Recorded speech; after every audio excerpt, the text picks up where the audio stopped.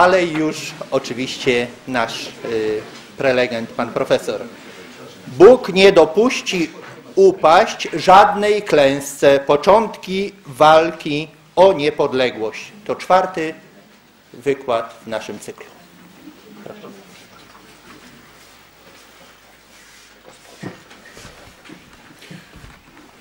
Dobry wieczór Państwu, szczęść Boże. Bardzo dziękuję, że Państwo znajdujecie czas i cierpliwość w wciąż nie bardzo sprzyjających warunkach klimatycznych, żeby wracać do historii.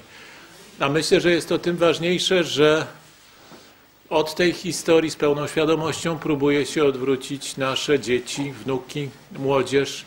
I to jest szczególnie bolesne, choć wykład dotyczy historii, czyli opowiadania o przeszłości, nie sposób o dniu teraźniejszym nie wspomnieć. Właśnie wchodzi w życie reforma, która została trzy lata temu zadekretowana przez panią minister Hall, która kończy obowiązkowe nauczanie historii dla wszystkich licealistów na klasie pierwszej i potem tylko ci, którzy wybiorą specjalizację historyczną, będą się uczyli dalej historii.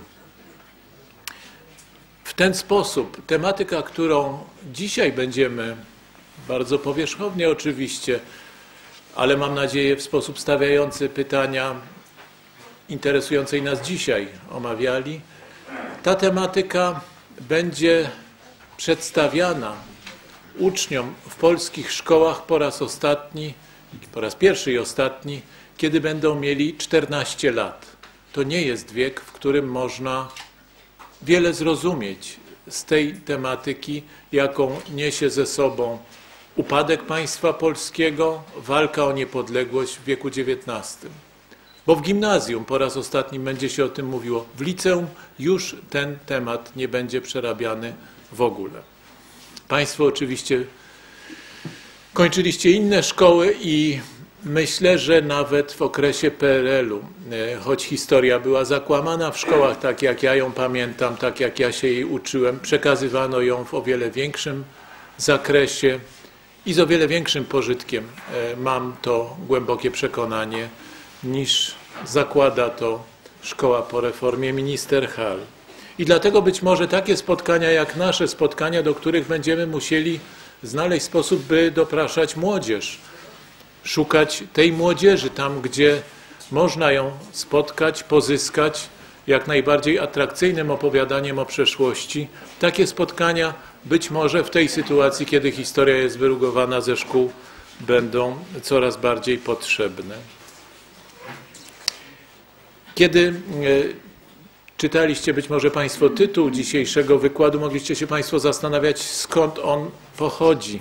To oczywiście fragment pieśni Konfederatów Barskich w wersji skomponowanej przez Juliusza Słowackiego, a zapisanej w jego niezwykłym, wizyjnym dramacie Ksiądz Marek w akcie pierwszym.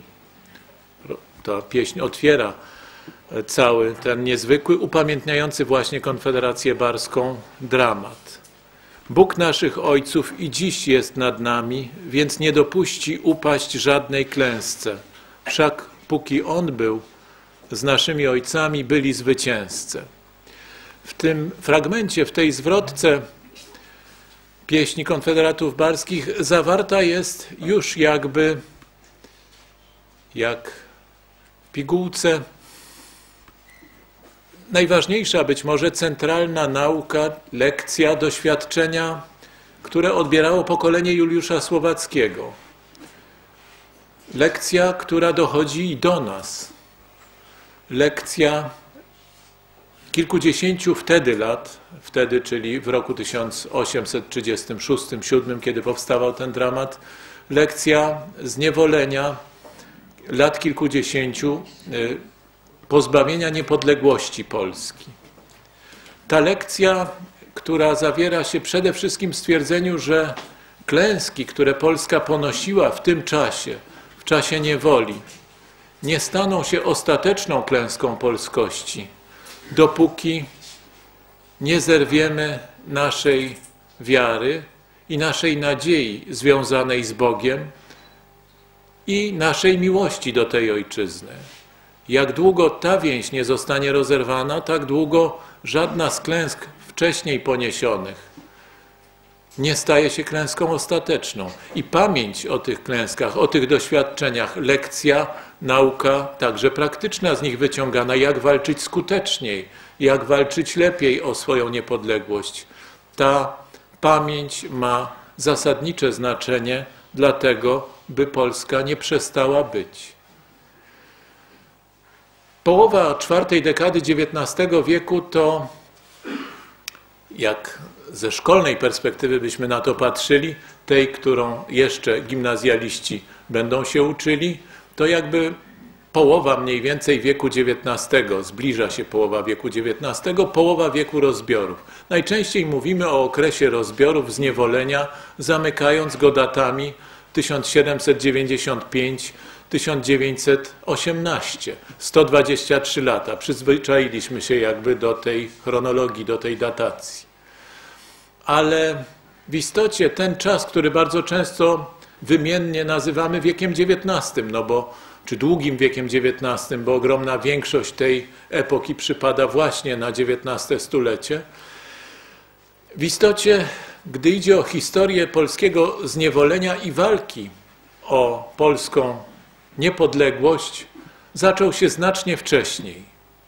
A czy skończył się w 1918 roku? O tym będziemy jeszcze mówili. Zaczął się znacznie wcześniej, bowiem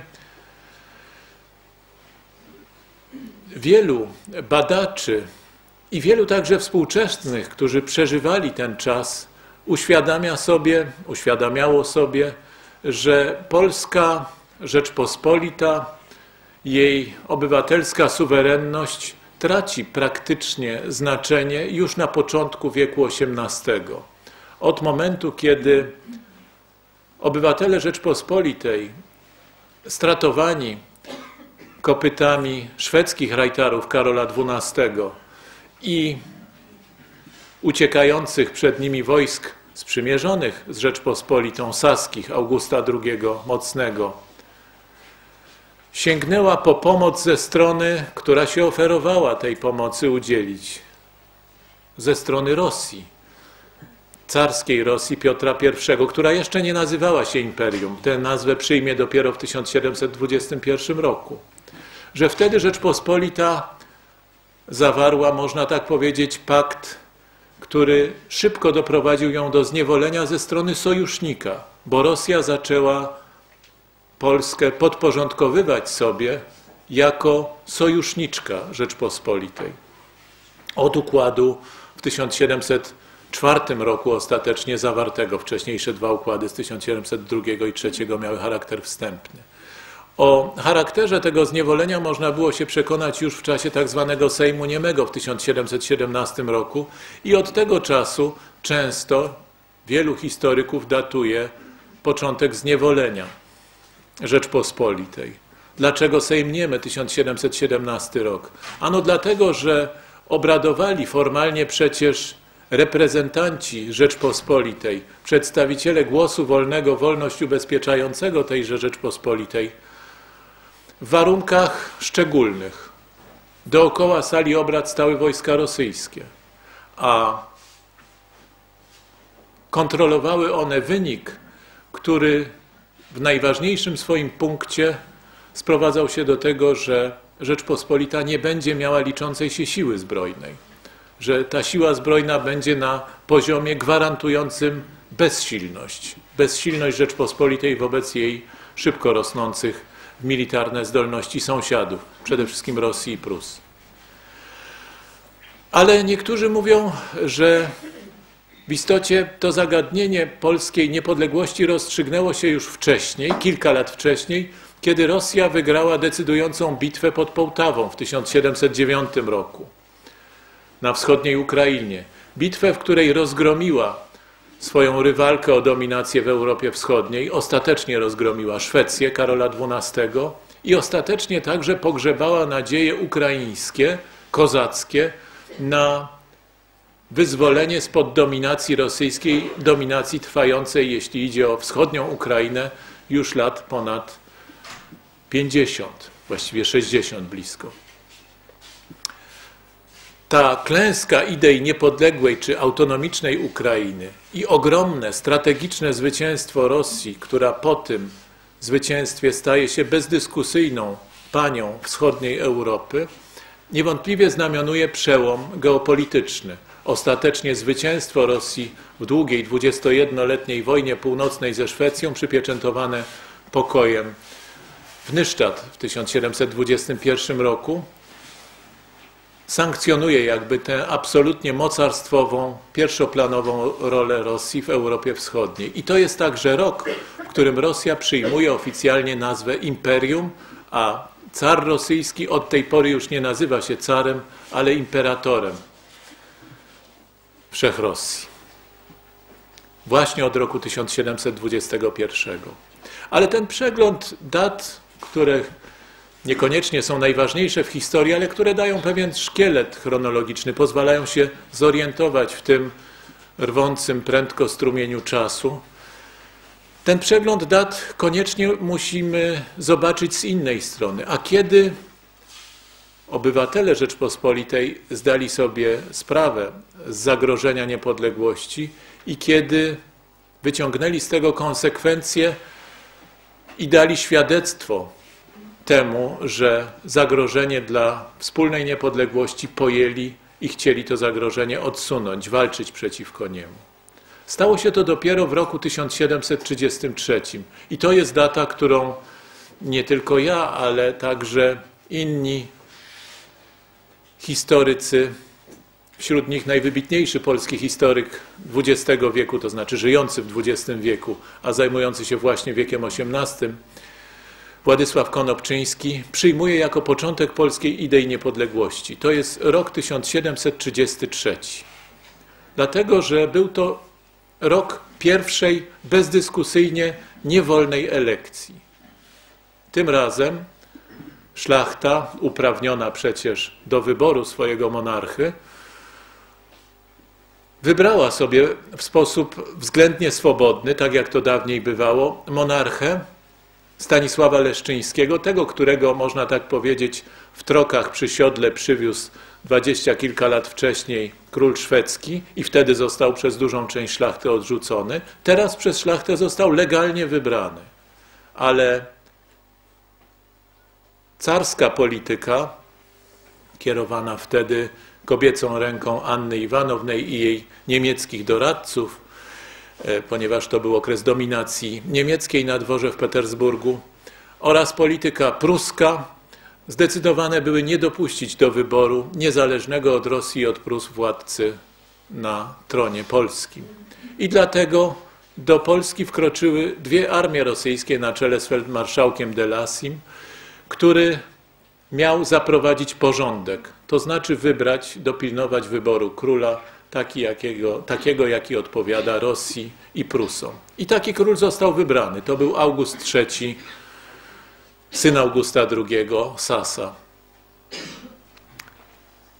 To było bezdyskusyjne, otwarte, jawne, przy pomocy na wielką skalę podjętej ingerencji zbrojnej dokonane pogwałcenie niepodległości Polski. Po tej elekcji było jasne, nie mogło być zaciemnione w żadną propagandą, żadnym udawaniem to, że Polska, Rzeczpospolita straciła niepodległość. I szybko, bardzo szybko, bo już w tym roku ten właśnie termin niepodległość wszedł do języka politycznego obywateli Rzeczpospolitej. Wprowadził go do tego języka jeszcze w brzmieniu łacińskim, independencja, Stanisław Konarski, najwybitniejszy może w całej historii Polski myśliciel polityczny, e, o ogromnych zasługach dla ożywienia polskiej myśli politycznej, świadomości politycznej w wieku XVIII. Ten ksiądz Pijar e, był, jak zapewne wielu z Państwa wie, autorem przede wszystkim bardzo ważnej reformy oświatowej, która pozwoliła wydźwignąć kulturę polityczną Rzeczpospolitej połowy wieku XVIII i drugiej połowy XVIII wieku na poziom europejski, przygotować elity polityczne do zmierzenia się z wyzwaniami. tego czasu. To oczywiście Collegium Nobilium, e, jego projektu Szkoła e, dla szlacheckich elit, ale także oczywiście pamiętamy go jako autora bardzo ważnego traktatu politycznego krążącego w odpisach już w latach 50., a opublikowanego w latach 60. XVIII wieku, w którym proponował ograniczenie zasady liberum veto.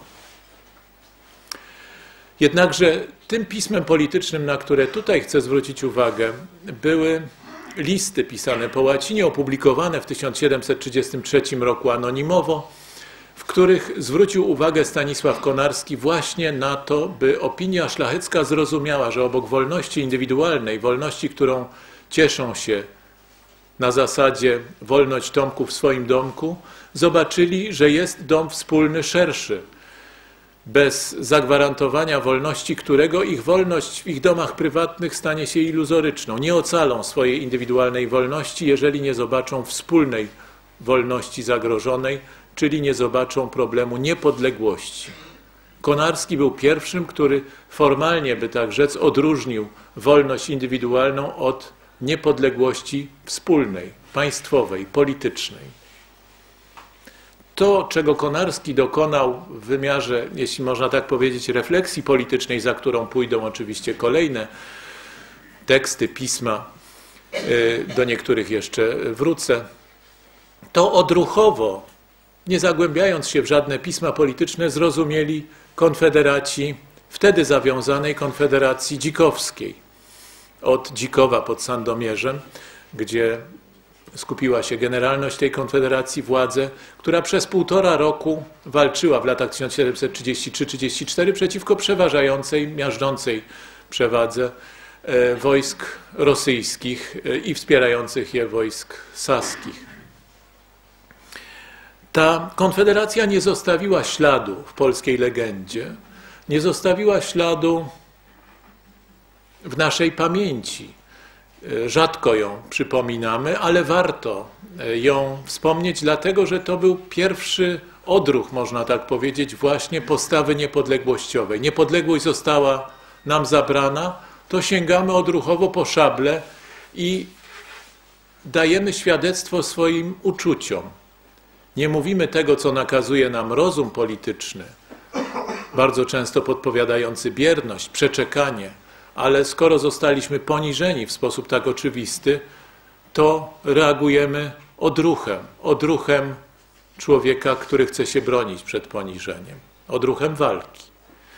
Ta walka została przez przeważające siły, jak już wspomniałem, stłumiona.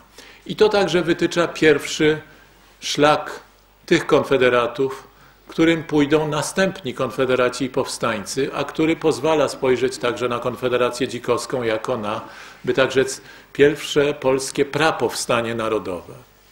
Bowiem konfederaci dzikowscy pójdą szlakiem syberyjskim, zabierani przez wojska rosyjskie, porywani, bo przecież Rzeczpospolita wciąż była formalnie odrębnym państwem od Rosji. Wojska rosyjskie zabierały wziętych do niewoli dzikowian i szli pod eskortą na stepy kazachskie albo za Ural na Syberię. W znacznie większym wymiarze to doświadczenie powtórzy się w roku 1768. Rzeczpospolita jest wciąż państwem niepodległym, formalnie, formalnie niezależnym ale właśnie przed 68 roku odebrała kolejną porcję upokorzeń, bardzo głębokich upokorzeń. Druga niewolna elekcja w 1764 roku, kiedy Katarzyna II wyznaczyła swojego byłego kochanka na króla, by mieć powolnego sługę na tronie w Rzeczpospolitej. Stanisław August Poniatowski nie chciał być powolnym sługą. Chciał reformować Rzeczpospolitą, by wzmocnić ją, by przygotować ją do suwerennego bytu. I wtedy właśnie Katarzyna po tych próbach reform podejmowanych w pierwszych dwóch latach panowania Stanisława Augusta Mocnego przypomniała mu, z nie, przepraszam, bardzo przepraszam, e, przypomniała mu z niezwykłą brutalnością o, o realnym układzie siły, jeśli można tak powiedzieć. E, tak się składa, że akurat, przepraszam, że tego rodzaju autoreklamę pozwolę sobie tutaj e, zrobić, ale jestem pod wrażeniem e, dwóch wielkich dzieł, bezdyskusyjnie ośmielę się takie nazwać, które akurat mamy szczęście publikować w tym roku w Arkanach. Fragmenty tych dzieł znajdują się w najbliższym numerze Arkanów, który ukaże się gdzieś za 2-3 tygodnie, a obydwa dzieła w ciągu dwóch miesięcy się znajdą na rynku. Pierwsze z nich to dzieło e, profesor Zofii Zielińskiej, wybitnej, najwybitniejszej na pewno badaczki historii Polski XVIII wieku, e, która prezentuje właśnie lata 1766-67 krótki okres, ale właśnie niezwykle ważny dla dramatu zniewolenia Polski, ponieważ wtedy Katarzyna, wykorzystując tak zwaną sprawę dysydencką, postanowiła złamać kręgosłup politycznej suwerenności Polski. I dla ludzi, którzy przepraszam, że znów uczynię wycieczkę do współczesności, którzy stawiali często pytania po kwietniu 2010 roku, jaka może być racjonalność, gdyby przyjąć hipotezę, że w Smoleńsku miał miejsce zamach. Jaka może być racjonalność takiego zamachu, przecież kompromitującego dla Rosji, przecież trudnego do wyobrażenia, to warto sięgnąć właśnie do tego, co zrobiła Katarzyna w roku 1766 i 7 z Rzeczpospolitą. Otóż chodziło o zastraszenie, przede wszystkim o zastraszenie, o upokorzenie i zastraszenie obywateli Rzeczpospolitej w taki sposób, by nawet nie ośmielili się głośno mówić, jak wygląda rzeczywistość. A rzeczywistość wtedy wyglądała w ten sposób, że Katarzyna nakazała zmianę praw obowiązujących w Rzeczpospolitej i złamanie prawa najważniejszego dla mieszkańców, dla tożsamości mieszkańców Rzeczpospolitej, elit tej Rzeczpospolitej, czyli prawa o panującym charakterze religii rzymskokatolickiej. Przypomnę, że w tym czasie, bo bardzo często o tym zapomina się, kiedy mówi się o tym zagadnieniu, na terenie Rzeczpospolitej mieszkało około 3% ludności prawosławnej. 3%, więc bardzo niewiele. Co się stało z resztą? Wszyscy w ciągu wieku XVII i do właśnie lat 60. wieku XVIII prawosławni stali się unitami. Przyłączyli się do kościoła łacińskiego, w sensie obediencji w stosunku do papieża, do Watykanu, choć w odrębnym rycie. To zjawisko budziło naturalnie Y, niepokój, wrogość ze strony prawosławnych, wciąż jeszcze w części elit Rosji. Mówię wciąż jeszcze, bo znaczna część to byli ludzie o tożsamości niemieckiej wtedy, w połowie wieku XVIII. Rosja miała poczucie, że traci tę potencję, którą może mieć w postaci, nazwijmy to tak, prawosławnej piątej kolumny na obszarze Rzeczpospolitej. A zatem upomnienie się o prawa innowierców, czyli nie unitów, ale właśnie prawosławnych i protestantów, miało być e, narzędziem do, na nowo, że tak powiem, otwarcia i wzmocnienia kanału wpływów Rosji i dywersji politycznej Rosji i Prus, oczywiście Fryderyka II e, w Rzeczpospolitej. Ten akt jednakże nie był najważniejszy przez to, że oznaczał, by tak rzec, e, no, szansę pobudzenia ludności mm, ruskiej przeciwko, e, przeciwko Rzeczpospolitej, odwołania się do Solidarności prawosławnych czy protestantów, ale dlatego, że miał upokorzyć elity szlacheckie Rzeczpospolitej. Przypomnijmy, że w tym czasie żaden kraj europejski, e, żaden, dokładnie żaden, nie uznawał tolerancji religijnej. W Wielkiej Brytanii prześladowania katolików miały bardziej brutalny charakter niż prześladowania katolików w Rosji. Choć Rosja oczywiście także nie uznawała żadnej innej formuły, jak tylko religii panującej, którą było na jej obszarze prawosławie. Również na terenie Prus obowiązywała jedna religia panująca, był nią oczywiście protestantyzm. I tak było w każdym państwie europejskim, włącznie z Wolną Republiką Genewy, gdzie obowiązywał kalwinizm. E, prawda? No, nie, nie było żadnego wolnego kraju wyznaniowo. Rzeczpospolita miała być krajem pierwszym tolerancji religijnej narzuconej przez Rosję i przez Prusy. Opór, który stawili w tej sprawie przedstawiciele elity szlacheckiej, miał charakter nie wstecznego, ciemnego, jak to często przedstawiano później, także na przykład w perelowskich podręcznikach odruchu niewykształconych, szowinistycznych, e, tępych, zabobonnych ludzi, którzy tworzyli tę rządzącą warstwę Rzeczpospolitej, ale miał charakter obrony niepodległości, ponieważ rozerwanie więzi Polski z katolicyzmem, osłabienie tej więzi miało być symbolicznym poniżeniem Rzeczpospolitej. Katarzyna chciała, by takie właśnie poniżenie nastąpiło. Kiedy zorientowała się, że protest części przynajmniej elit szlacheckich jest nieuchronny, zdecydowała się działać jeszcze brutalniej.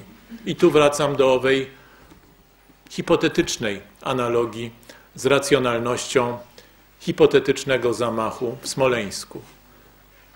Katarzyna przysłała swojego pułkownika Osipa Igelstrema, który miał jeden rozkaz: porwać senatorów Rzeczpospolitej, którzy stawiają opór prawom, które dyktuje ambasador Rosji, ambasador Carycy Nikołaj Repnin. I taki akt nastąpił w środku Warszawy. Przy pomocy 100 czy 120 kozaków Igelstrem porwał dwóch biskupów, czyli senatorów Rzeczpospolitej, biskupa krakowskiego, Kajetana Sołtyka i biskupa kijowskiego, załuskiego. Porwał także hetmana, Wacława Rzewuskiego, hetmana polnego koronnego i jego syna, późniejszego niesławnej pamięci także hetmana Seweryna, który był posłem w tym czasie, posłem na Sejm.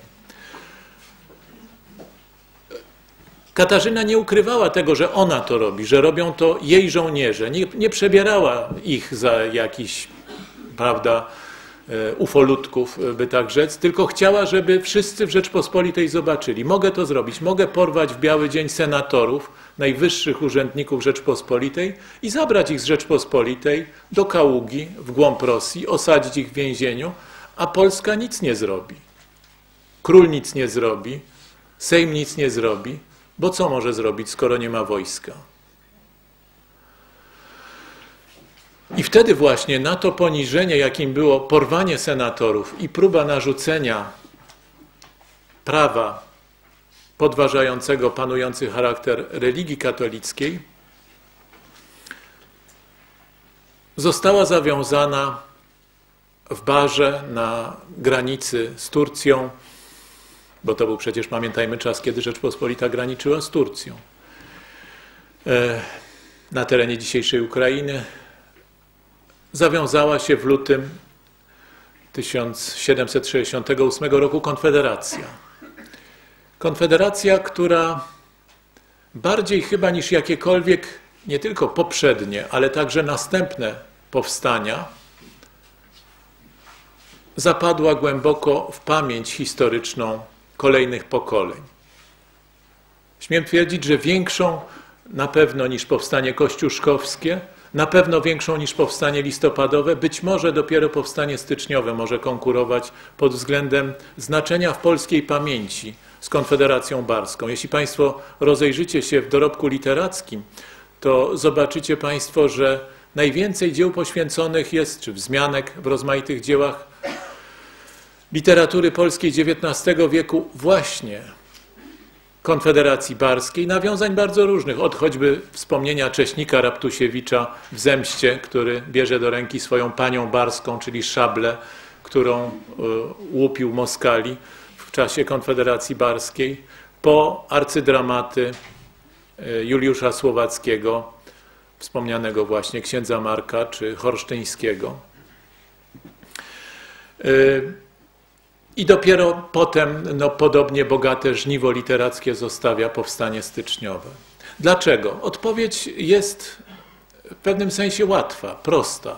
Dlatego, że żadne inne powstanie nie miało tak długotrwałego charakteru i nie objęło w takim stopniu całego obszaru Polski, Polski historycznej, Rzeczpospolitej. Konfederacja Barska trwała 5 lat. Od lutego 1768 roku do samego końca, praktycznie rzecz biorąc, 1772. Ponad 100 tysięcy uczestników przewinęło się przez szeregi Barżan. To nie była tylko szlachta. To byli także, choć oczywiście w znacznie mniejszym procencie, to, byli, to była przede wszystkim szlachta, ale nie tylko, to byli także chłopi, to byli mieszczanie w niemałej ilości. Mogę powiedzieć pół żartem, że z sentymentem wspominam Konfederację Barską, bo to ostatni moment, kiedy Kraków mógł się czymś pochwalić. To rzeczywiście Kraków ze wszystkich miast e, Rzeczpospolitej zapisał najbardziej bohaterską kartę wtedy, w 1768, a w szczególności 71 e, e, i drugim roku. Ale także właśnie mieszczanie, a nawet kozacy w części służyli Konfederacji Barskiej. Między innymi jeden z wielkich bohaterów tej konfederacji, Sawa Caliński, opiewany w licznych pieśniach obok naturalnie Kazimierza Pułaskiego, Józefa Pułaskiego, jego ojca, tych najbardziej znanych bohaterów Konfederacji. A więc pięć lat objęcie całym całego obszaru Rzeczpospolitej swoimi działaniami to najprostsze wytłumaczenie no, jakby za zapadnięcia w pamięć tej, tego ruchu oporu przeciwko zniewoleniu. Ale także swoisty patos tej walki, walki beznadziejnej, bo przecież Rosja znów użyła swoich sił, choć nie mogła użyć wszystkich sił, ponieważ Turcja wypowiedziała wtedy wojnę Rosji w obronie Rzeczpospolitej, czując się sama zagrożona coraz bardziej imperialną potęgą rosyjską, Turcja zrozumiała wspólnotę losu swoją i Rzeczpospolitej w obliczu tego zagrożenia, a więc Rosja musiała dużą część rzucić przeciwko Turcji swoich sił, ale jednak ta przewaga e, była wciąż miażdżąca. I w tym sensie i to powstanie, tak jak poprzednie i jak kolejne, będzie powstaniem, które nie mogło niestety wygrać. Czy w takim razie było absurdem, było klęską tylko, która ściągnęła na kraj pierwszy rozbiór, bo bardzo często w takiej perspektywie widzi się Konfederację Barską. Jako jej konsekwencje widzi się pierwszy rozbiór. Zawarty układ w tej sprawie został w trakcie jeszcze trwania Konfederacji Barskiej w 1772 roku. Pamiętajmy jednakże, że decyzja o rozbiorze została przygotowana znacznie wcześniej. Była przygotowywana staranną dyplomacją Fryderyka II, który był najbardziej rozbiorem zainteresowany i zabiegał od lat o to w Petersburgu przez swojego brata Henryka, między innymi jako osobistego wysłannika do Katarzyny. I była przygotowywana także przez wpływowe lobby, nazwijmy to tak wojskowo-urzędnicze w Petersburgu, które chciało po prostu przejęcia bezpośredniego terytorium Rzeczpospolitej, wcielenia do Rosji, bo tylko tak mogli ci chciwi urzędnicy cesarzowej Katarzyny uzyskać nadania ziemskie. Rzeczpospolitej nie mogli uzyskać majątków od Katarzyny. Jeszcze tak e, ta zależność nie wyglądała. Natomiast to, dlaczego było alternatywą dokonanie rozbioru, to nie była niepodległa Polska, to była Polska w całości pod kontrolą Rosji. To była alternatywa, jaką rozpatrywała Katarzyna. Czy całą Polskę trzymać pod swoją kontrolą, czy podzielić się nią? Wobec Konfederacji Barskiej zdecydowała się nią podzielić z Prusami i z Austrią. Jednakże nie o genezie pierwszego rozbioru chcę tutaj mówić, tylko o znaczeniu polskiej walki o niepodległość, kolejnych podejmowanych w tej sprawie prób. Jeśli ktoś z Państwa byłby zainteresowany historią pierwszego rozbioru, to istnieje jedyna do tej pory wspaniała monografia Władysława Konopczyńskiego. No, Niestety muszę znowu wykonać krótką autoreklamę, wydana wyłącznie w wydawnictwie Arkana, 60, 7 lat po napisaniu tej książki przez Konopczyńskiego. Przez tyle lat jakoś była ona niecenzuralna. Lub nie budziła zainteresowania. W każdym razie wracając do głównego wątku, jakim jest sama ocena tej decyzji walki o niepodległość, pozwolę sobie przytoczyć fragment rozkazu odczytanego przez Józefa Pułaskiego, ojca Kazimierza, e, jednego z głównych dowódców, czy po prostu głównego dowódcę wojskowego konfederackich sił, e, odezwę przed bitwą. Ona bowiem wyraża może lepiej niż jakiekolwiek słowa historyka patos tamtej, tamtego momentu. Cytuję. Oto dzień, w którym zwyciężać mamy lub umrzeć. Tu czas wymierzy nam szczęście lub nieszczęście. Oto my, co święte zamysły, bo sami najlepiej chęci nasze znamy, nieinteresowne, a samym tylko prawidłem Boga i Ojczyzny miarkowane, przedsięwzięliśmy znów, troszkę tak jak dzisiaj, ci, którzy upominają się, oczywiście w innych warunkach, nie można tego całkiem porównywać, a jednak trudno się od tych porównań opędzić. Ci, którzy upominają się o prawdę w dochodzeniu smoleńskim, są traktowani jak niemal buntownicy przeciwko władzy państwowej, przeciwko interesowi racji stanu, którą reprezentuje prezydent, premier, te demokratycznie wybrane ciała przedstawicielskie Rzeczpospolitej. Wracam do cytatu. Dlaczego obierajmy albo haniebną, okrutną tych czasów nagrodę cnoty, śmierć przez kata, albo przez rycerską na placu dzielność? Jużeśmy dość pod uciążliwym nieprzyjaciela jarzmem jęczeli – Czas, by sromotę z imienia naszego zetrzeć plamę, sromoty z imienia naszego zetrzeć plamę, a cudzym narodom okazać, żeśmy Polacy. My giniemy, ojczyzna żyje. My żyjemy, ojczyzna ginie. Żyjemy w ojczyźnie, niech też ojczyzna żyje przez nas, ponieważ jej całość teraz na gardłach naszych i krwi naszej zależy ale dałby Bóg nieszczęściem naszym kupić ojczyźnie szczęście jej. Idźmy naprzeciw widocznej śmierci, straciliśmy wszystko dla Boga, ojczyzny, straćmy i życie, które nam zostaje. Niech o tym wie daleka potomność, że jeżeli dla ojczyzny bronić, że jeżeli ojczyzny bronić nie umieliśmy, wtedy umrzeć za nią umieliśmy. Wy zaś, którzy zdrowie wasze nad wiarę i wolność szacujecie, kiedy pewnie sił waszych pomocą utrzymać życia naszego nie chcecie, chciejcie śpieszliwą ucieczką niestrasznej nam przyspieszyć śmierci. Te słowa są bardzo dramatyczne nie dlatego, że zostały tak napisane, ale dlatego, że zaświadczyło o nich życie. To znaczy ci ludzie, którzy słuchali tych słów, rzeczywiście swoje życie położyli na szali, wiedząc, że nie mają szans na wygraną. Czy w takim razie ta decyzja, że bardzo często no, jakby ta, ta sytuacja była jednoznaczna. Nie da się wygrać. No, liczenie na zwycięstwo graniczyło z cudem, na pomoc Francji, na zwycięstwo Turcji nad Rosją, bo to były rachuby polityczne wtedy.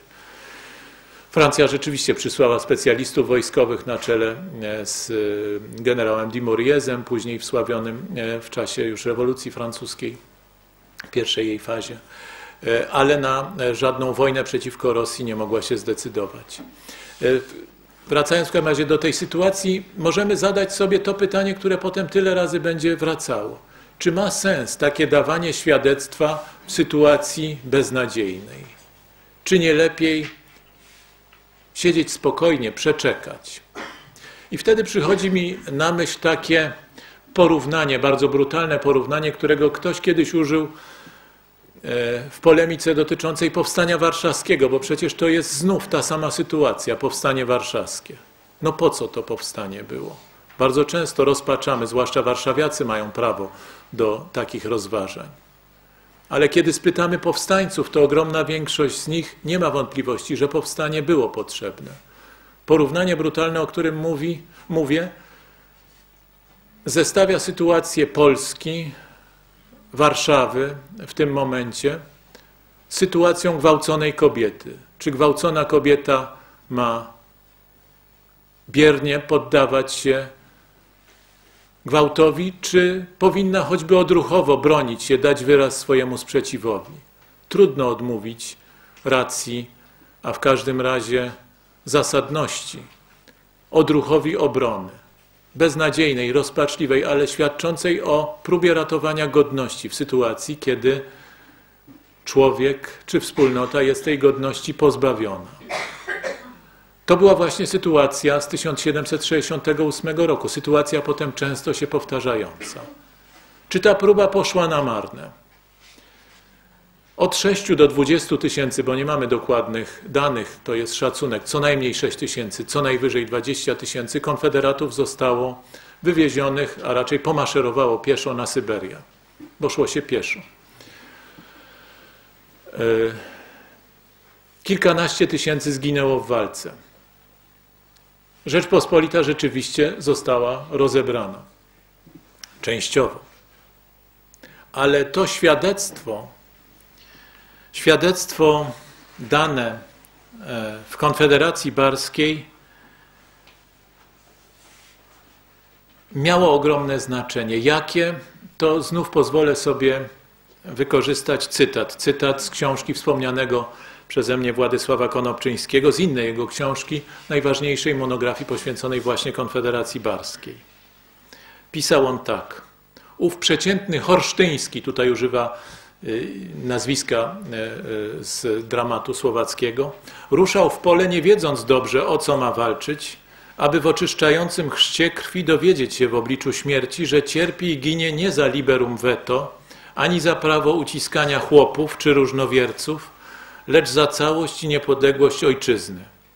Przez taki ogień wtajemniczenia przeszło, przeszły kolejno różne sfery i okolice Polski. Właśnie to miało znaczenie, że Konfederacja przeszła przez całą Polskę. Poznańskie, Małopolskę, Mazowsze, Litwę, Ukrainę. Wszędzie była Konfederacja Barska. Jak Państwo rozejrzycie się, choć bardzo trudno je znaleźć, są takie upadające najczęściej lub znikające z powierzchni ziemi cmentarzyki powstańców barskich we wsiach w każdym regionie Polski. Naturalnie w miastach ich nie ma.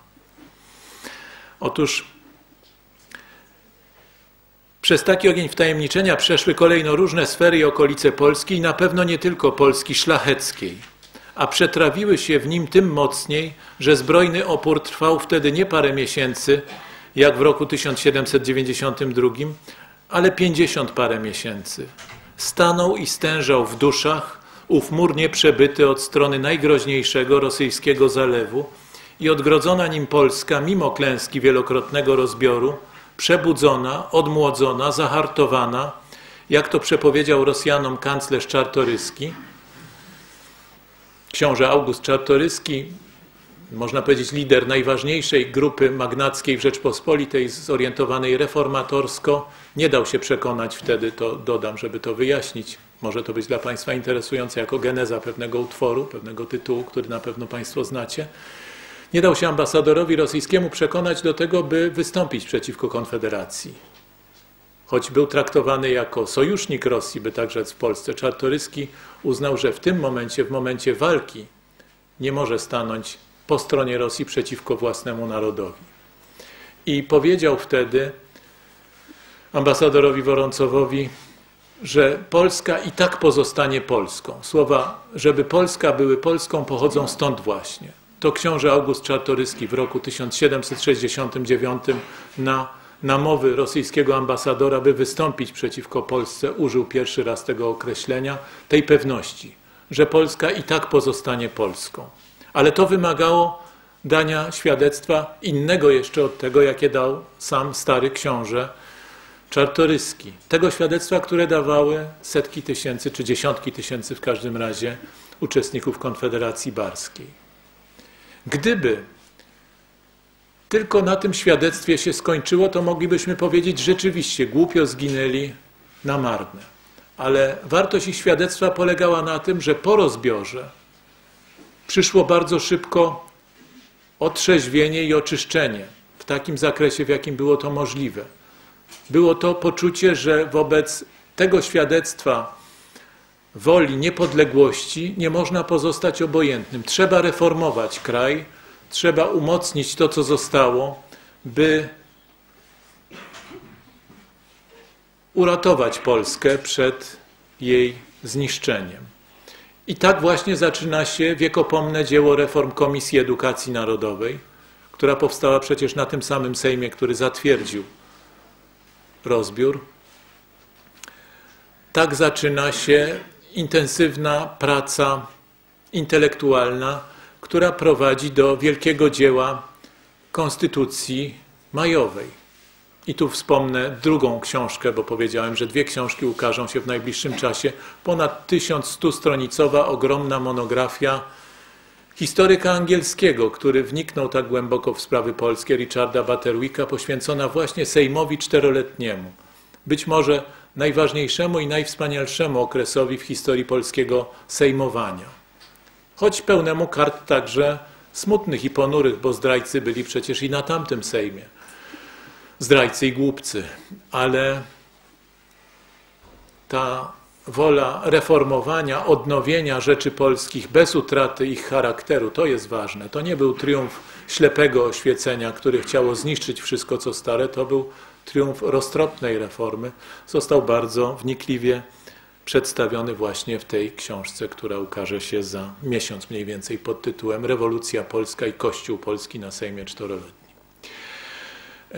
Otóż to właśnie impuls jakiegoś zobowiązania tą ofiarą Konfederacji Barskiej. Impuls, który miał charakter przypomnienia. Tak, niepodległość jest najważniejsza. Trzeba teraz mądrze przygotować się do obrony tej niepodległości.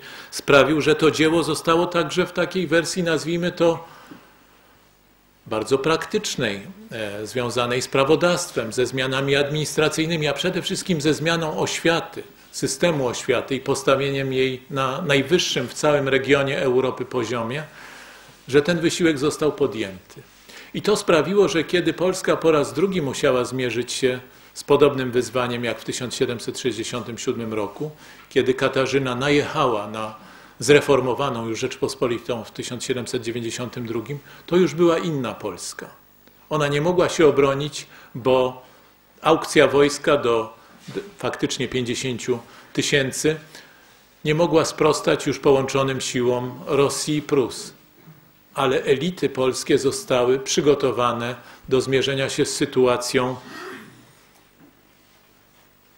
w której przewaga siły będzie po stronie przeciwnika, ale przewaga racji będzie mogła być broniona nie tylko gołą szablą, ale także racjami przedstawianymi Europie i racjami przedstawianymi własnymi społeczeństwu w sposób coraz bardziej skuteczny, racjami drogą oświaty, edukacji szerzonymi. Przypomnę, że e, w szkołach Komisji Edukacji Narodowej, mam tutaj na myśli szkoły średnie i dwie wyższe, bo tyle ich było, Akadem, znaczy Szkoła Główna Krakowska i Wileńska, zostało wykształconych w ciągu 20 lat blisko 100 tysięcy osób. To ogromna masa ludzi o wysokim wykształceniu, można tak powiedzieć wysokim, bo to była nauka kilku języków, nauka matematyki, oczywiście nauka przedmiotów związanych z historią ojczystą. Prawie 1700 szkół podstawowych, jakbyśmy to dzisiaj powiedzieli, oczywiście nie obejmujących swoją siatką całej przestrzeni Rzeczpospolitej, ale i tak nieporównanie gęstszą niż u wschodnich i południowych sąsiadów. Te 100 tysięcy ludzi wykształconych, a także 200 tysięcy abonentów czasopism, bo tylu było abonentów na początku lat 90. w Rzeczpospolitej. 200 tysięcy, to znaczy a rozchodziły się czasopisma w nakładzie 600 tysięcy egzemplarzy. Najrozmaitsze czasopisma, czasopisemka.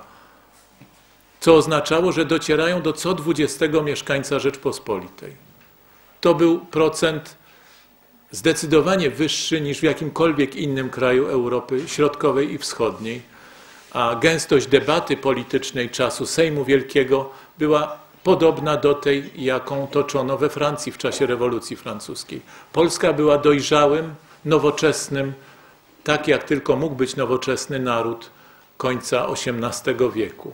To miało ogromne znaczenie. Polska została zabita w sensie politycznym, państwowym w momencie, kiedy osiągnęła dojrzałość narodową. to zwiększało tę tragedię, zwiększało poczucie, jakbyśmy to dzisiaj powiedzieli językiem psychologów, traumy, urazu, rzeczywiście straszliwej, o tym jeszcze za chwilkę powiem, ale jednocześnie tworzyło z Polski wspólnotę, której brak państwa nie mógł zabić.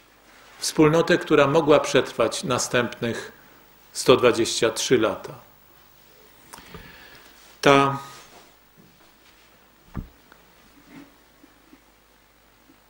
wspólnota zyskała oparcie nie tylko w czynie bojowym, znów powtórzonym w 1792 roku w walce regularnej wojnie między Rosją, która wtargnęła siłami trzech korpusów tym razem i nową, już zorganizowaną na prędce armią polską pod wodzą księcia Józefa Poniatowskiego. Wojną ważną dlatego, że z niej pochodzi nasz krzyż Virtuti Militari, wtedy właśnie ustanowiony po pierwszej zwycięskiej bitwie stoczonej przez wojsko polskie samodzielnie od czasu zwycięstw Jana III Sobieskiego. To była bitwa pod Zieleńcami 18 czerwca 1792 roku. Wtedy król Stanisław August Poniatowski, stryj księcia Józefa, e, nadał 15 pierwszych odznaczeń Virtuti Militari. Ta walka i późniejsza walka o dwa lata, powstanie kościuszkowskie, miały znaczenie nie tylko jako świadectwo analogiczne do tych, jaki, o jakich mówiłem wcześniej, do Konfederacji Dzikowskiej czy Barskiej, tej woli położenia własnego życia na szali zmagań o polską wolność, polską niepodległość. Ale miała także znaczenie potwierdzające pewną zasadę, którą myśl polityczna polska wtedy właśnie sformułowała albo raczej przypomniała. Myśl o prawie narodów do niepodległości. Nam wydaje się to prawo, no może dzisiaj już mniej oczywiste niż było jeszcze kilkanaście lat temu, ale wciąż jakby rozumiemy to jako, jako rzecz e, naturalną, choć kwestionowaną przez siły polityczne współczesnego świata ale w wieku XVIII nikt nie rozumował tymi kategoriami. Nie traktowano narodów jako bytów, nazwijmy to tak, realnych, zasługujących na potraktowanie ich poważnie. Istniały państwa dynastyczne o charakterze imperiów albo o charakterze małych państewek dynastycznych, dzielących przestrzeń zamieszkałą przez poszczególne narody na drobne kawałeczki. Jednakże narody nie powstały dopiero w wieku XVIII czy w wieku XIX, jak chcą niektórzy, ale część narodów istnieje od średniowiecza. Niektóre od starożytności, jak naród żydowski i naród ormiański. Ale większość e, głównych narodów europejskich ma swoje dziedzictwo jeszcze w czasach średniowiecza.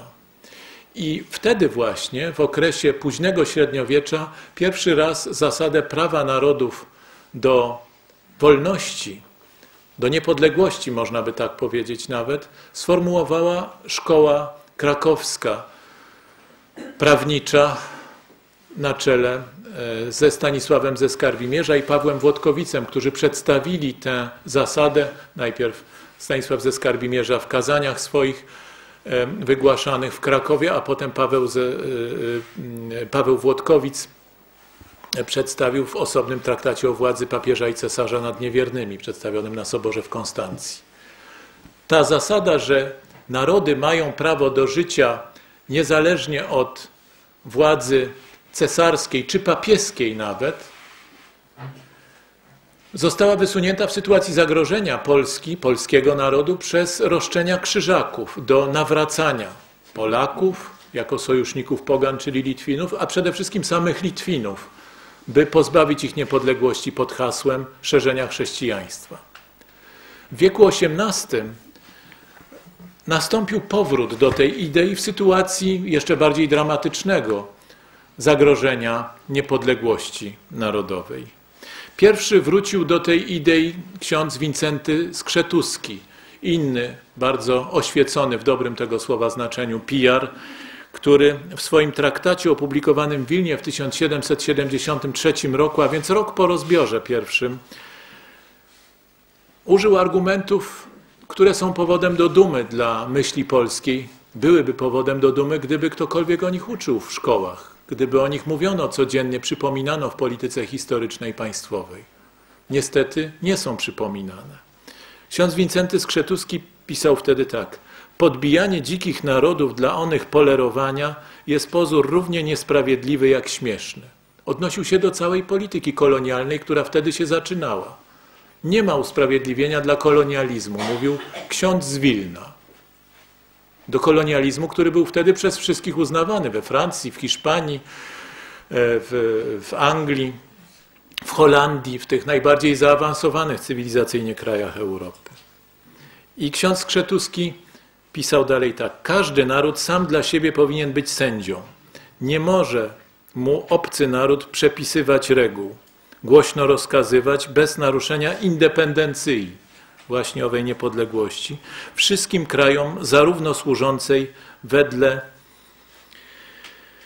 nieodmiennych praw natury. A więc niepodległość jest prawem natury, głosił. Niepodległość narodów jest prawem natury, głosił ksiądz Skrzetuski. Po nim podjęli tę myśl, tę piękną myśl w okresie Sejmu Wielkiego i w tym najbardziej gorącym okresie lat 1791-92 inni myśliciele. I znów przytoczę te piękne słowa, te nazwiska, bo warto o nich przypominać. Niestety, jak mówię, nie przypomina się o nich a one pokazują uniwersalne znaczenie polskiej walki o niepodległość. Nie ograniczone tylko do tego, co się nazywa polskim zaściankiem. Adam Wawrzyniec Rzewuski, który był bratankiem wspomnianego hetmana Wacława Rzewuskiego i kuzynem niesławnego e, hetmana e, Seweryna Rzewuskiego, w swoich uwagach o rządzie republikańskim wydanych w 1791 roku określił to samo, co Skrzetuski jeszcze piękniej. Co człowiek człowiekowi, obywatel obywatelowi, to samo naród winien narodowi. Zaś Hieronim Strojnowski, także ksiądz prawnik, w nauce prawa przyrodzonego sformułował cztery zasady. Nie naruszać własności i wolności innych narodów, nie używać przemocy przeciw innym narodom, zachować wierność i rzetelność w obopólnych zgodach, nie uchylać obrony i pomocy narodom w potrzebie pozostającym. To czwarte zwłaszcza prawo, nie uchylać obrony i pomocy narodom w potrzebie pozostającym, pozostanie wytyczną polskiej myśli niepodległościowej i wolnościowej na następne wieki. To jest to hasło, które później Joachim Lelewel przeformułuje w czasie powstania listopadowego w bardziej znaną nam formułę za wolność naszą i waszą. Adam Mickiewicz dwa lata później odwróci tę kolejność i formuła ta przyjmie postać za wolność waszą i naszą. Ta formuła, w imię której znajdujemy Lecha Kaczyńskiego na trybunie w Tbilisi w momencie, kiedy czołgi rosyjskie zmierzały ku stolicy Gruzji. I w tylu setkach innych przykładów walki za wolność naszą i waszą przez tych 200 lat, jakie upłynęły między słowami księdza Strojnowskiego a prezydenturą Lecha Kaczyńskiego. I tych oczywiście przykładów mógłbym tutaj przytoczyć więcej. Chcę tylko wskazać, jak wiele głębokich, uniwersalnych lekcji kryje się w tym tak często wyśmiewanym, tak często wyszydzanym zjawisku polskiej, desperackiej walki o wolność w czasach, kiedy ta wolność była Polsce wydzierana. Jak wiele inspiracji można by znaleźć, odkopując na nowo te źródła polskiej refleksji politycznej, jak warto byłoby je przypominać także współczesnej Europie.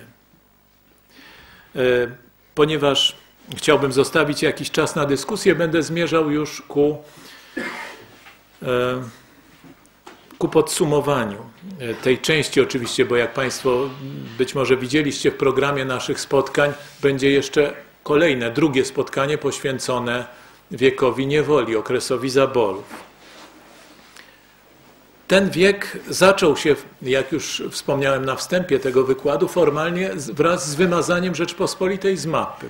Ostatecznie nastąpiło to w styczniu 1797 roku. Wtedy dopiero została podpisana ostateczna konwencja rozbiorowa w Petersburgu, która, której jeden z punktów głosił, że imię Królestwa Polskiego nie zostanie nigdy przywrócone. Determinacja trzech imperiów, które zlikwidowały Rzeczpospolitą, była wielka. I rozpacz, poczucie tragedii obywateli Rzeczpospolitej było równie wielkie. W tym czasie wielu z nich desperowało o przyszłości Rzeczpospolitej. Ten szok zniknięcia wielkiego państwa był tak duży, że Tadeusz Czacki, tak zasłużony w szerzeniu nowoczesnej edukacji patriotycznej, uznawał, że Polska na zawsze została wymazana z listy narodów. Także Hugo Kołłątaj uznawał, postać bardziej kontrowersyjna, ale na pewno ważna e, w tej polskiej walce o niepodległość końca XVIII wieku, że naród zginął, a jego imię będzie wymazane e, z księgi czasów, tak jak Chaldejczyków, Greków i Rzymian. Inni szukali pociechy w tym, że naród zginął, ale jego kultura może przetrwać, jak to Franciszek Ksawery Dmochowski, e, tłumacz Iliady, E, na Polski e, głosił. Grecy zginęli, ale Homer żyje, prawda? Więc nasza literatura będzie o nas świadectwem. Niektórzy bardziej cynicznie, jak Szczęsny Potocki, pisali wtedy, e, konkretnie Potocki do Seweryna Rzewuskiego, każdy z przyszłych Polaków ojczyznę sobie obrać powinien. Ja jestem już Rosjaninem na zawsze. E, także niektórzy biskupi, jak e, biskup piński Kasper Cieciszowski, e, nakazywali modły miłości do nowej ojczyzny, prawda, czyli w tym przypadku do Rosji. Ale był to wynik właśnie często tego szoku. No jak to rozpadło się państwo, koniec nadziei, prawda? Walczyliśmy, przegraliśmy. I wtedy właśnie okazało się, że było tak, jak głosiła pieśń Juliusza Słowackiego, którą przypomniałem na wstępie. Bóg nie dopuści upaść żadnej klęsce. Wtedy, w tym najczarniejszym momencie, gdzieś w dalekich Włoszech zabrzmiała piosenka, która głosiła, że jeszcze Polska nie zginęła. A jeszcze kilka miesięcy później w Nowogródku urodził się mały Adam Mickiewicz, którego literacki geniusz sprawił, że Polska, tak jak geniusz innych twórców, którzy poszli za nim, sprawił, że Polska zyskała potęgę słowa, która umacniała jej trwanie przez cały wiek niewoli. O tym, jak specyficzna była to epoka, będziemy mówili na raz następny. Tu dodam tylko, żeby zakończyć takim może nieoczekiwanym akcentem, że przecież z tego szoku wychodzili Polacy szybko ze względu na niezwykle dynamiczną sytuację, jakbyśmy to dzisiaj powiedzieli, międzynarodową. Od razu w 1798 roku rozpoczęła się pierwsza konspiracja prowadzona przez Dominikanina z Wilna, ojca Ciecierskiego była także e, próba partyzanckiej walki prowadzonej z Bukowiny, e, czyli z terenów podległych Turcji, e, przeprowadzenia jej pod wodzą Joachima Deniski na tereny dawniej Rzeczpospolitej. Ale przede wszystkim były legiony właśnie, były legiony Dąbrowskiego, była zmiana na mapach Europy wprowadzana przez kolejne ofensywy Napoleona. I wkrótce powstała namiastka państwa polskiego, księstwo warszawskie. Niedawno warszawski historyk Jarosław Czubaty wydał znakomitą pracę, monografię księstwa warszawskiego, warto do niej sięgnąć. Potem po klęsce Napoleona jednak imię Polski zostaje przywrócone. Nie tylko nie zostało wymazane, ale zostało przywrócone, przynajmniej jako imię. Na Kongresie Wiedeńskim zostaje ustanowione Królestwo Polskie w kadłubowym kształcie, ale jednak wraca na mapę. I mieszkańcy tego regionu, 130 mniej więcej tysięcy kilometrów kwadratowych. E, mieli wszelkie instytucje polskie, e, także częściową autonomię językową. Kongres Wiedeński gwarantował przecież mieszkańcom Galicji i Księstwa Poznańskiego, czyli części zaboru pruskiego i e, zaboru austriackiego. Również na terenie Litwy funkcjonowały wciąż instytucje autonomiczne. Wszystkie one były wynikiem tego zrywu, niepogodzenia się z, ze zniewoleniem i świadectw w walce o wolność składanych od 1733 roku, kontynuowanych także po upadku Rzeczpospolitej. E, wszystkie były skutkiem tego właśnie nieugiętego ducha w walce o wolność, ale wszystkie były niewystarczające. To nie była pełna wolność, było jej złudzenie. To złudzenie, które oddaje najlepiej, i na tym e, zakończę, specyficzna ewolucja twórcza młodziutkiego Adama Mickiewicza. Pierwsze jego dzieła to są dzieła pisane przez człowieka, który czuje się właściwie wolny, rozpatruje zagadnienia cywilizacyjne. Zima w mieście, pierwszy poemat Mickiewicza, żartobliwy. I także żartobliwy, ale bardzo ważny z punktu widzenia cywilizacyjnego poemat Kartofla.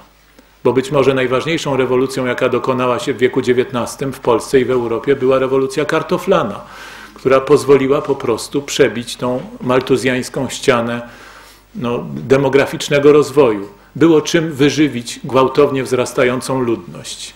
I to warto sobie także uświadomić.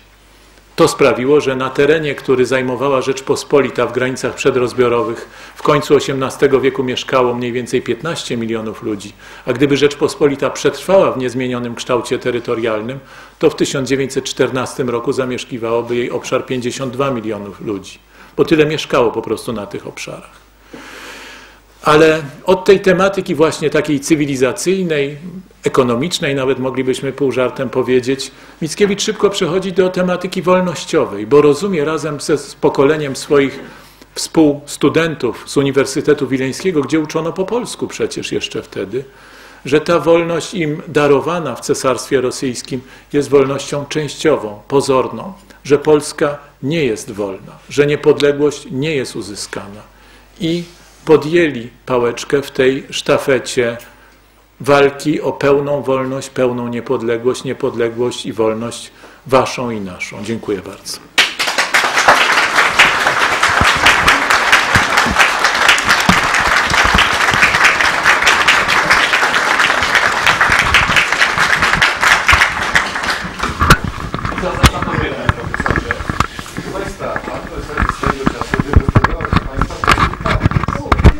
Dlatego proszę Państwa w tej chwili zadać pytania, rozpocząć rozmowę. Bardzo proszę, tej Pani się zgłosiła. Tak.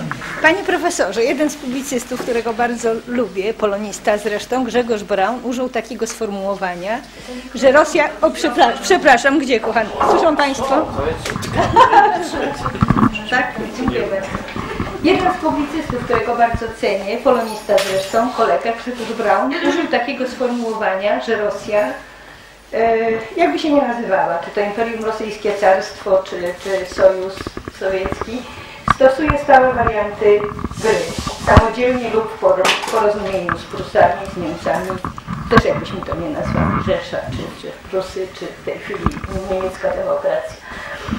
I te warianty są dla nas śmiertelnie groźne, one się bez przerwy powtarzają. Teraz jak pan profesor nam uświadomił, że to się działo już od początku XVIII wieku, kiedy przyglądaliśmy się, jak padł jeden niepodległościowy rząd Olszewskiego, któremu dano tylko pół roku, a potem rząd Jarosława Kaczyńskiego, a kiedy okazało się, że profesor Lech Kaczyński, prezydent Rzeczpospolitej, jedyny, który nie był agentem po wojnie, realizuje jakąś politykę polską, też okazało się, że można się krótko go wkrótce pozbyć. Do czego zmierza?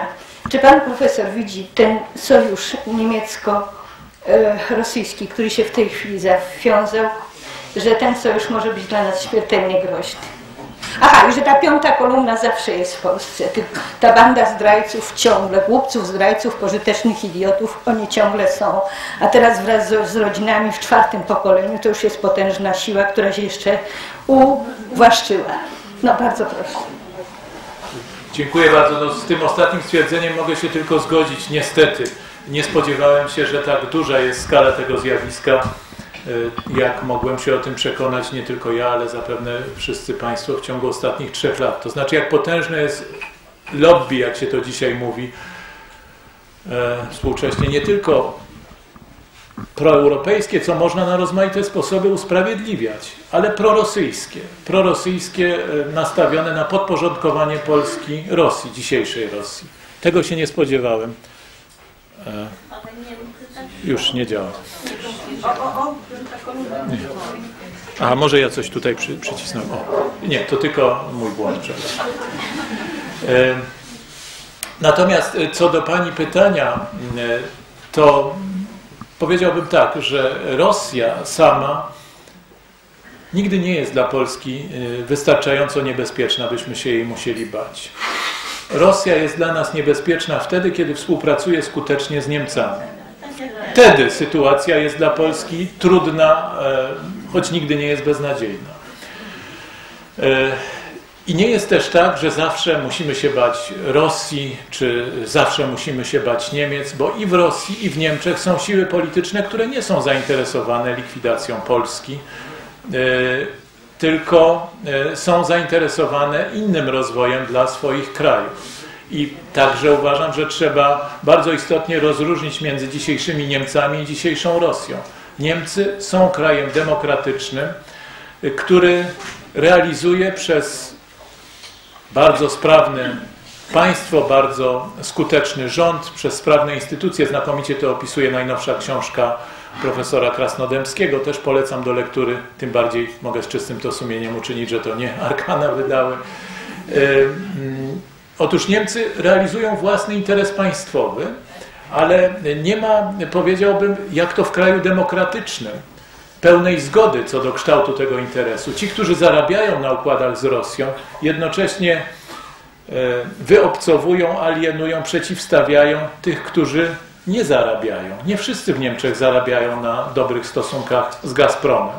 Są inni, którzy nie zostali do tych kontraktów dopuszczeni. Są także w Niemczech wpływowe siły, które nie lubią, nazwijmy to tak najprościej, współpracy z reżimem autorytarnym, likwidującym e, w sposób brutalny wolności obywatelskie i, co także bardzo ważne, niszczącym wolność mediów, przynajmniej na poziomie tych największych mediów elektronicznych.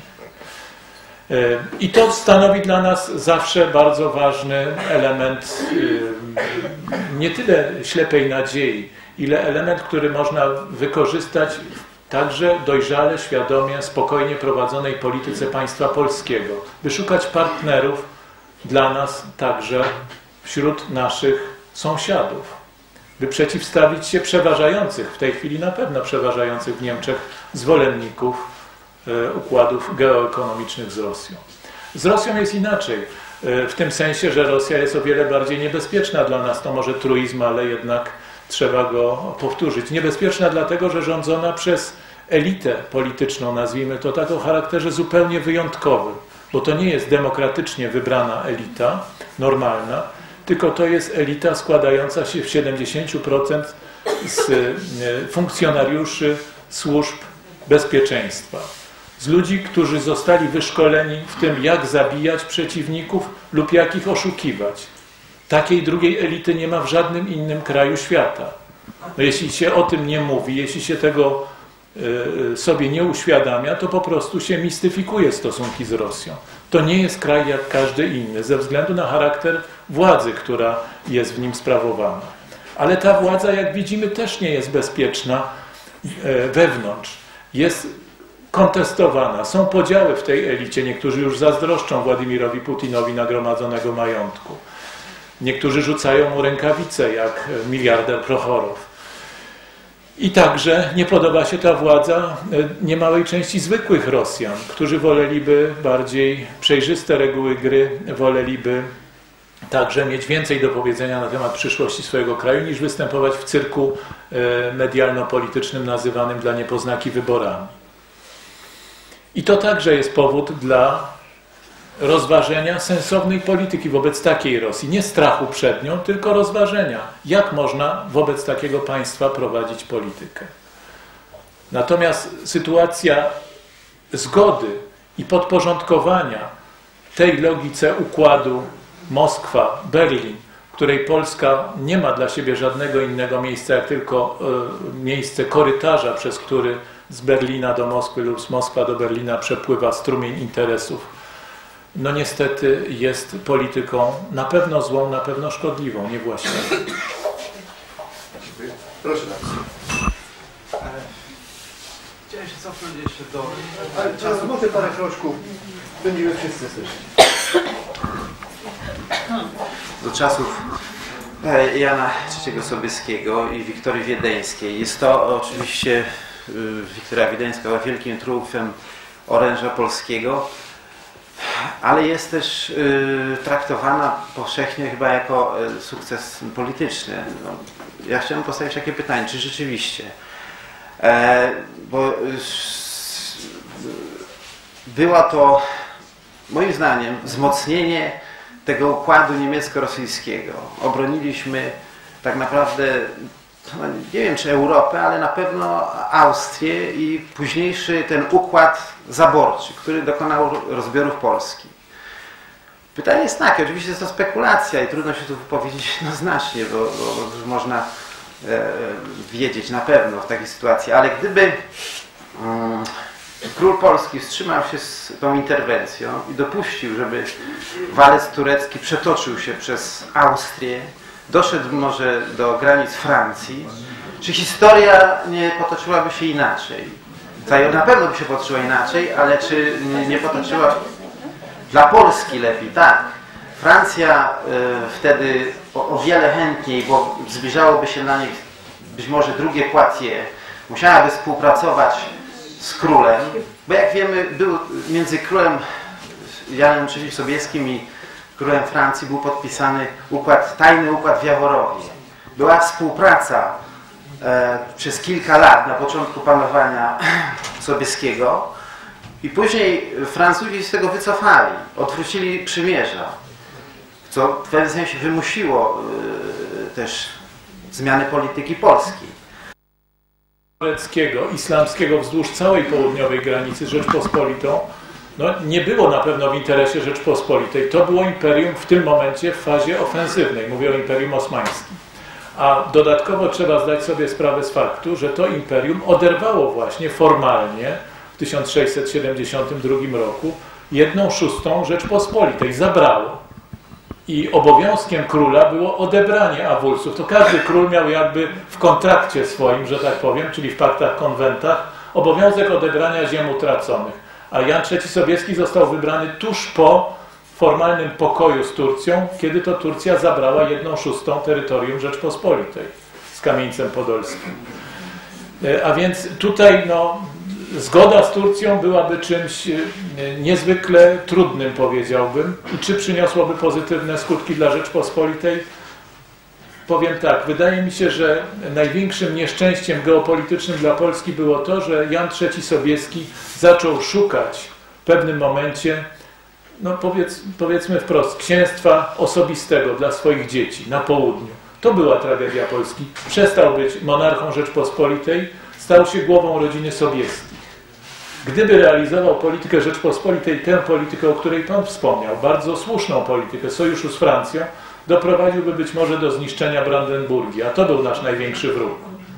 Zrezygnował z tej polityki nie ze względu na pomoc Austrii, bo ta była, jak mnie się wydaje, w interesie geopolitycznym Polski, ale w swoim własnym interesie domowym, żeby szukać księstw naddunajskich, które mógł uzyskać kosztem dalszej wojny z Turcją, bo trzeba było pomóc oczywiście Austrii w momencie tak dramatycznym, tak mnie się wydaje, jak oblężenie Wiednia, ale potem nie trzeba było skupiać się na Turcji, tylko trzeba było dokończyć tego, co zostało zaczęte traktatami w Jaworowie.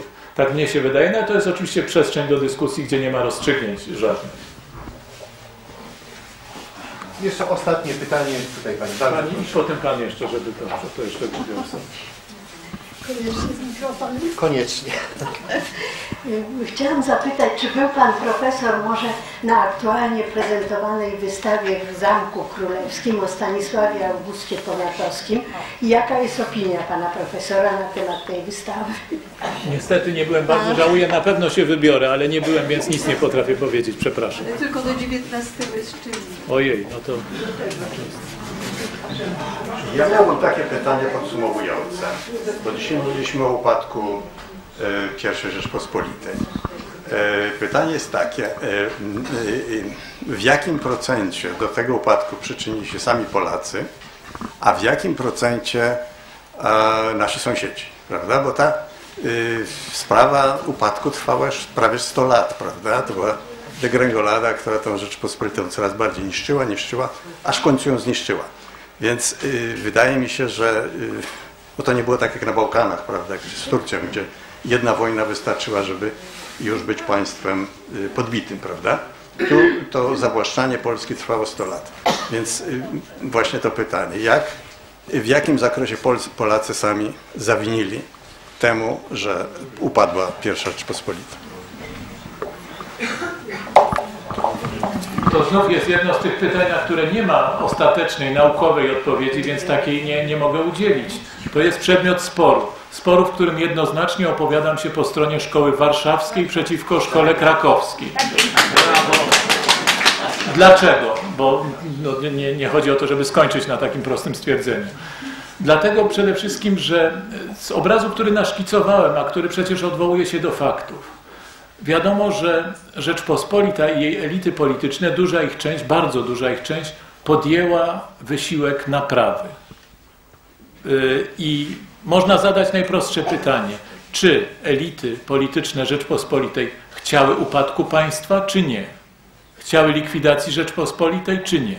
No, odpowiedź jest prosta, nie chciały. A czy elity polityczne sąsiadów Rzeczpospolitej chciały upadku Rzeczpospolitej, czy nie? I tu odpowiedź jest równie prosta. To znaczy, oczywiście można i trzeba szukać win własnych, jak najbardziej, bo można powiedzieć, ta reforma przyszła za późno, e, zbyt mało radykalna, być może niektórzy twierdzą, ale została podjęta, nie wolno tego zlekceważyć. Gdyby nie było żadnej próby reformy, gdyby nie było oporu, to moglibyśmy powiedzieć, Polska ma na co zasłużyła. Gdyby nie było właśnie wspomnianej Konfederacji, gdyby nie było reformy y, Komisji Edukacji Narodowej, gdyby nie było przede wszystkim Sejmu Wielkiego i jego prawa o miastach i Konstytucji Majowej, to wtedy szkoła krakowska miałaby pełne prawo do, e, do zwycięstwa w tej debacie historycznej. Natomiast oczywiście ze szkoły krakowskiej na pewno warto brać uwagi jej założycieli, które nie były y, zawsze tylko tendencyjne, były zwłaszcza w przypadku Józefa Szujskiego pogłębione. Bobrzyński już znacznie bardziej szarżował. Natomiast zupełną karykaturą jest, są nawiązania do szkoły krakowskiej w wykonaniu na przykład polecającego tekę Stańczyka Adama Michnika. Bo ostatnie wydanie teki Stańczyka ukazało się z nadrukiem Poleca Adam Michnik. To właśnie są ci no powiedziałbym, pogrobowcy szkoły krakowskiej, których do końca ze szkołą krakowską bym nie utożsamiał. Tam nie każdy element zarzutu pod adresem no, błędów politycznych, które owszem zostały popełnione, e, możemy zbyć wzruszeniem ramion. Ja tego nie robię, tylko stwierdzam, że ostatecznie, kiedy Pan mnie pyta o rozważenie tych racji, to powiem, że na pewno więcej racji ma szkoła warszawska niż szkoła krakowska. A w procentach tego wyliczyć nie umiem. I my się tym zgadzamy. Dziękuję bardzo. Dziękuję bardzo.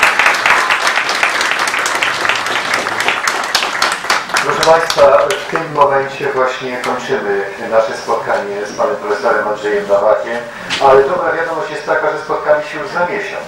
13 marca, gdzie kontynuowany będzie ten temat stule- stulecia wiek bez państwa i Pan Profesor będzie do Państwa dyspozycji. Proszę Państwa, bardzo dziękuję za udział w tym spotkaniu w imieniu księdza prałata Tadeusza Bożełki Katolickiego Stowarzyszenia Civitas Christiana. I mam nadzieję, że